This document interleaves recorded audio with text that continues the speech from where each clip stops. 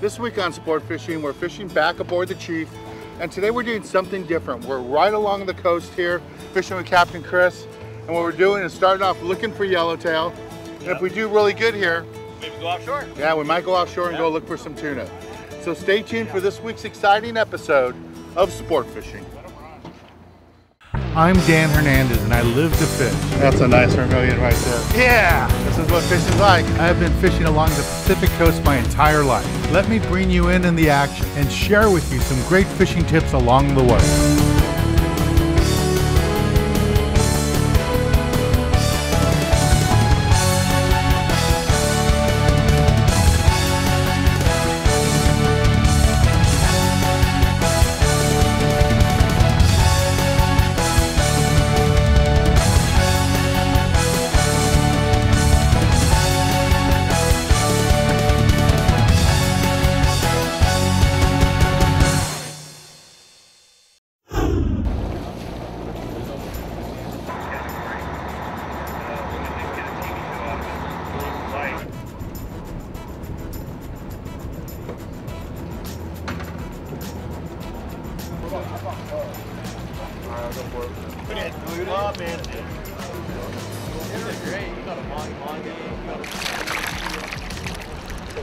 Jim from downtown San Diego fishing with us on the Mighty Chief His first yellowtail of the On day. Today. Thanks, Dan. on a coffee grinder, 20 pound test. Nice work. True sportsman. Good job, good job. Do it again, nice and easy, nice and smooth. Ready? Drop and wind. All right. This is the proper technique. Pull up slowly, wind down fast. Remember to start turning your reel before you drop the rod. Grind down. Okay, stop. Wind down. All right, coming through, guys. Coming through, coming through, come with me.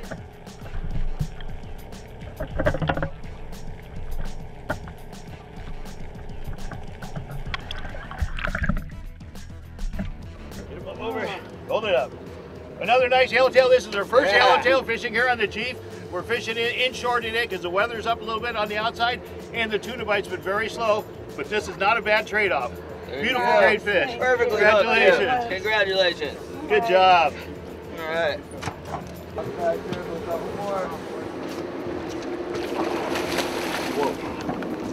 Yeah. Wasn't the best gaff shot, but we got him. Thanks, Carl. Yes, sir. Nice yellowtail. No wrong here.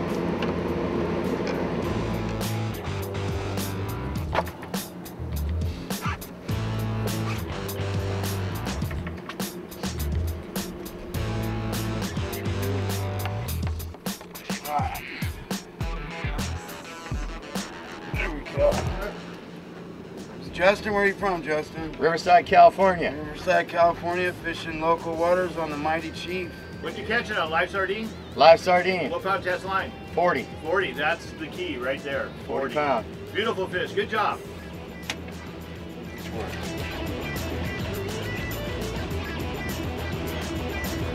There you go. Just keep grinding. Keep grinding. Keep grinding. Stay right here. Stay right here. Stay right here. There you go. Pull up. Pull up. All right. Free spool. There you go. Swing around this way. Turn this way. Nice work, buddy. All right. There we go. Hey, what happens when you get the first You got to work water, out. boys. It's got a nice yellow here, so hopefully we got more of that to come here. We're gonna get back underway and see what uh, Mother Nature has to offer. Good job, dude. You did an excellent job on that fish.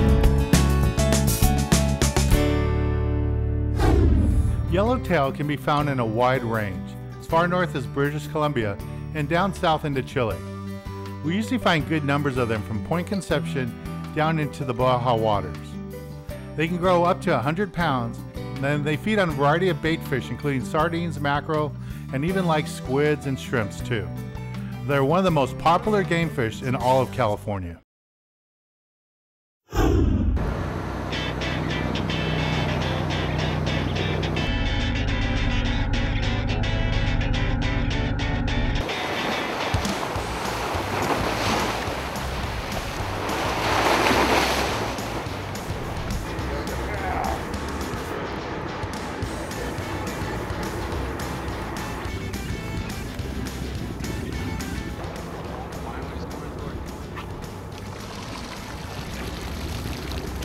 You run out. Good luck, guys. Come back.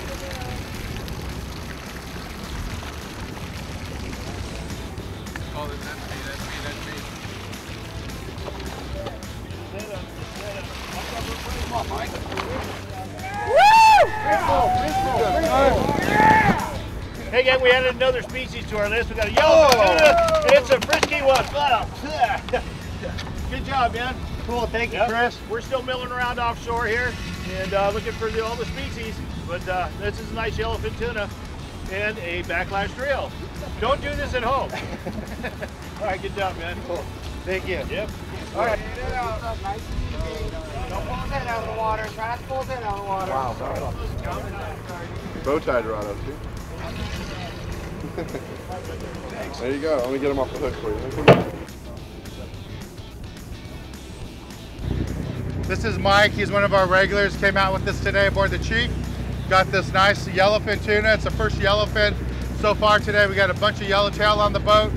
So we're making a change. We were inside earlier fishing right on the beach on the kelp looking for yellowtail. And then we left there. We hit a kelp patty for a couple yellows. And then this is our second kelp. It had some yellows mixed in and this yellowfin tuna. So that's the game plan now. We're gonna stay offshore, go about 20, 30 miles offshore and see if we can find us some more yellowfin, maybe a bluefin tuna. Let's take a little break from the action and go to the galley and show you how to cook up one of the delicious fish we're catching today. Nice job, man. Cool, thank you. Thank you, Dan. This week in the galley, we're in San Diego, California, and we're in the Mission Hills area, right next to Hillcrest, right on the border there. Stand next to me is Chef Will. We're here at the patio. Hey, Chef, thanks for helping us out today. Thanks, Sam. Appreciate it. Thanks a lot.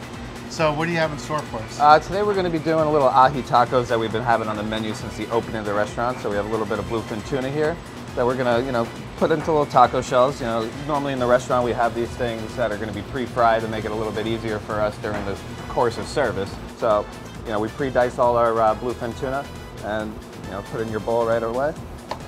And you know, you can use yellowfin, you can use bluefin, whatever, whatever you really like. And this this uh, marinade right here is uh, soy ginger, so a little bit of soy sauce, ginger, sambal, a little sesame oil, nothing crazy. You can get whatever whatever you feel necessary for flavor-wise. And then we're gonna mix it in with a little cilantro, scallions, little sesame seeds there. And you know, you're gonna wanna let this sit a little bit because you are you are marinating it. So you wanna kind of let that marinade get into the fish and you know, get all the juices going, get all the flavors going. So this is Napa cabbage. We chiffonaded really, really fine so that, you know, doesn't, you don't want it to be too thick because if it gets too thick, it doesn't really, doesn't give it the texture that you want it to have. So we're gonna line our shells here with a little Napa. And it also helps the fact that all those juices don't go into the, into the shell and make the shells all soggy.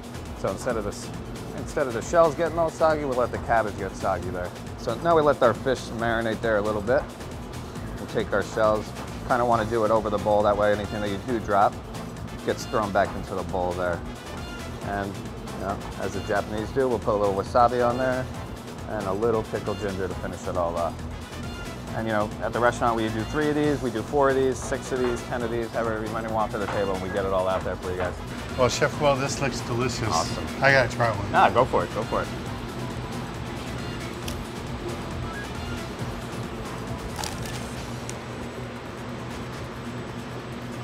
Textures, sweet, salty, spicy It's a little great. bit. Yeah, right, fresh. Can't It's taste got the all kinds of different flavors. Yeah, yeah. And I've never had a taco shell like this. So. Uh, it's the wontons. You fry them up really crispy like that. Changes the textures all completely. well, thanks, Chef Will. Thanks a lot. This is a great dish. And is there any one tip you can give somebody at home making this? Uh, the thing is, get the tuna as fresh as you can get it. There's no sense of, you know, going out and getting something that's one, two days, three days old. You want to get as fresh as you possibly can. That way the flavors are clean and the tuna talks about the tuna. That's about it right Yeah, there. very simple dish to do. You can do this a day after a fishing trip. Yep. Don't put the fish in the freezer. No, throw it no, in the no. refrigerator and make it the next day. Absolutely, absolutely. That's really good. Well, Yeah. thanks again, Thanks Chef. a lot. Thanks a lot, Dan. Remember, it's the patio. It's in the Mission Hills area, San Diego. You guys are on Facebook and all Uh, that. Facebook, Instagram. I'm the one that really takes care, care of the pictures for all the pictures, so you'll see all the food that we put out that day. Um, yeah, we're all over social media. Thanks, Yeah. man. All right, thanks a lot. All right, well, let's get back on the water and show you more exciting action right here on Sports Fishing.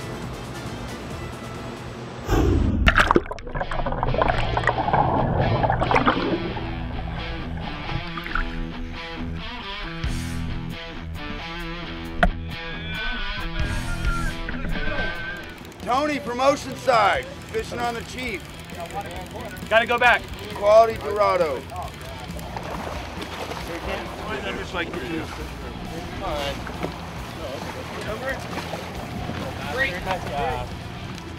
What a mess. I don't Right know. on. I don't know what you call this other than a, a Tanglerado. Tanglerado.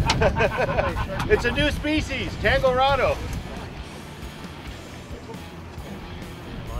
Thanks, Jeff, for the good headshot. Perfectly hooked in the corner of the mouth. Quality yellowfin. Well, welcome back. We're still here aboard the Chief. We're fishing this kelp patty. We got a couple Dorado off it. Char's on right now. He's got a little Dorado. It's been jumping out there. He's gonna work it in here toward the boat so I can get out of his way and let him land it. Here, let me get around you there. There you go. Dorado. Now my little baby Dorado. Uh, my name's Char from Laguna Hills. Fishing aboard. What can I say? Fishing on the Chief. I'm on top, right? Hey, jump right in the Chief.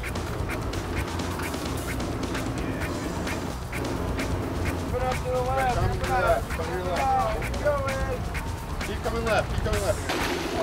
There we go. That's a nice yellowfin tuna. There we go. Good work. Oh, on the Chief. All right, let's go tag him up. Deep color on my tuna.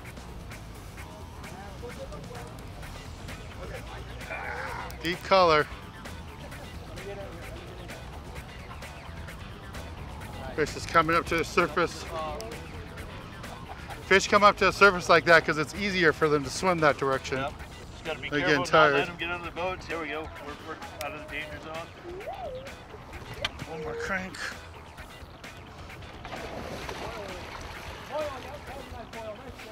There we go. Oh! Look at that one, baby. This is why we go tuna fishing. Nice, big, beautiful fish. Oh, behind you. Another fresh one. We got four going. We got four or five fish going right here. Here's another one just got Yeah. bit. It's pretty great fishing right here aboard the And they're getting bigger.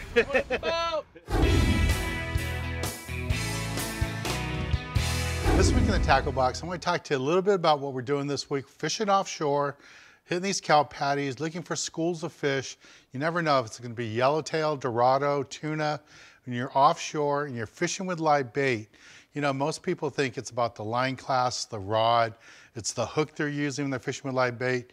And to tell you the truth, 80% of it happens all right at the bait tank. It's all about waiting to find a good lively bait. You want one of those sardines or even an anchovy that's doing circles and figure eights inside that bait well, and it's hard to catch. You have to use both your hands to catch it. Remember, you don't want to grab it and squeeze it. Just want to slide your hand underneath, get that good lively bait, then you pin on the hook. And the hooks you use, it depends if you want to set the hook on the fish or if you're not sure when to set the hook, then use a circle hook. There's lots of different circle hooks and stuff on the market. What I recommend is for offshore fishing, nothing lighter than a 3X hook. And this is what a circle hook like that looks like. And this has a ring on it too. And what's nice about the ring is that your bait will be able to swim freely any direction and that ring really comes in handy. If you can learn how to tie a perfection loop knot, you don't need to buy a hook with a ring on it, but if you don't know how to tie that knot, getting a hook with a ring will help you out a lot. If you're gonna go with the J-style hook, again, nothing lighter than a 3X hook for those big tuna, big Dorado, you wanna be prepared. Now, when you go fishing, you're never sure what size bait you're gonna have. Could be small anchovies, could be nice sardines, could be mackerel, and mackerel come in all different sizes. Because of that, I really recommend you take a whole tray with you with different hooks. And like I like to take is different sizes for all the way down to anchovies, all the way up to mackerel. I even like to take some bigger hooks in case we see a billfish out there. Last season, we saw a lot of marlin out there. So it's nice to have a nice big hook in case we see a marlin, we can drop a live mackerel on it and try to hook them. Well, let's get back on the water and show you more exciting action right here on Sport Fishing. Well, this is what you're not supposed to do. That's a no-no. This is called thumbing the line, people, and I highly recommend you don't do it. Some guys that are really good can do it, and they know when to let go. But if you're not an absolute pro, no, no, no. What'll happen is the fish will do a run, and it'll break your hook. Um, that's what your drag's designed for. And I, I don't recommend you do it. He's doing it, but you'll notice he lets go when he's winding, so he can do it. But it's it's risky, risky proposition. I take it you've done this before. Couple of times. Couple of times. See what I mean? Bro.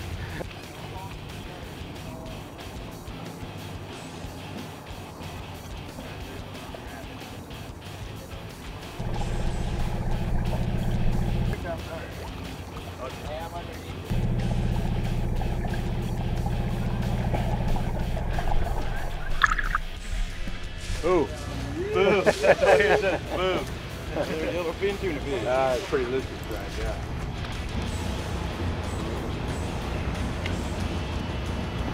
Great Dorado. I've been having a lot of fun out here on the Chief. It's my third Dan- one today. Dan And the crew. Yep.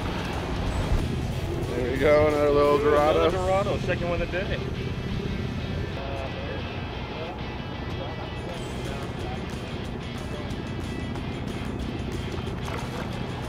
Okay, guys, this was Gerard. Yeah, buddy.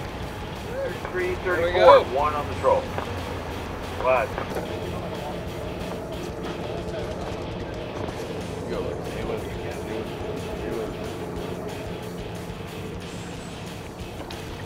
to bounce him? I can pick him where you want to bounce him. Kid. That a kid.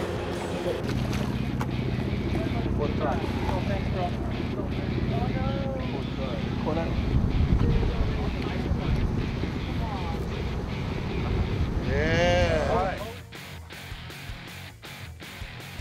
Here go on the Chief, getting the Dorado.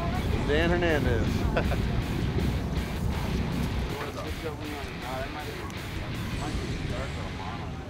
Go up there. Bring it back around. Hold him, hold him. Just like that. Hold him. Wait, up, up, up, wait. Wait, wait, wait. Wind down, wind down. There we go. Free spool, free spool. Yeah! Woo!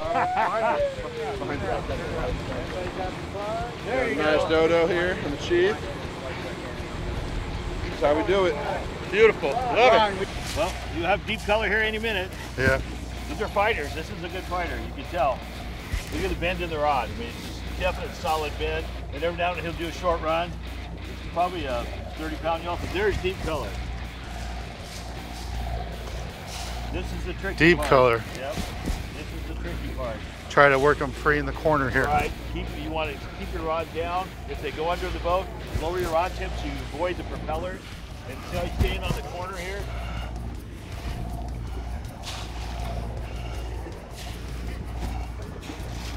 Oh yeah, it's a yellowfin. Yep.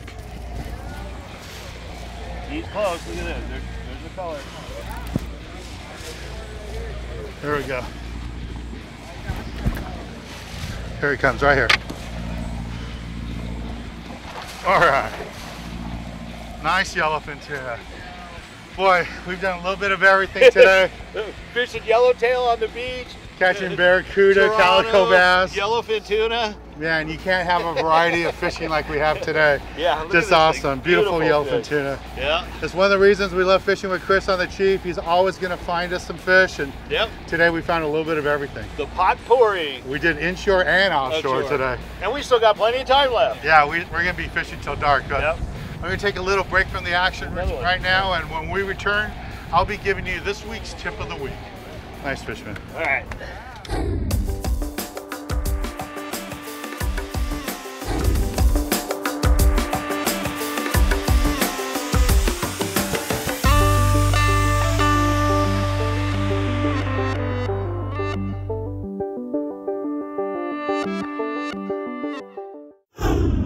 This is Amy. She's out fishing with us. She's been on a few trips in the past, like twilight trips and three-quarter day trips.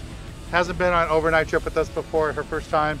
And earlier today, she caught a nice yellow. Right now, she's got a fish going. Don't know if it's a Dorado or if it's a tuna. And she's fishing a fly line sardine, 20 pound test line, and a two aught Mustad hook. I think it's a 94151 live bait hook, just a J hook. Here you go. Don't point the rod all the way at the fish. Keep the rod bent. I think you got a tuna. I don't think this is a Dorado. Take your time. Wind down. Okay, stop. All right, it's a tuna. It's a tuna.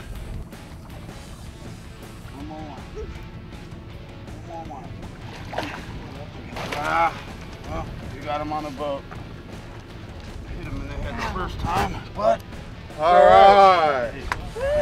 Yellowfin tuna. How'd you like that? Nice work. That was Amy. incredible. Good job. Good quality yellowfin. Beautiful fish.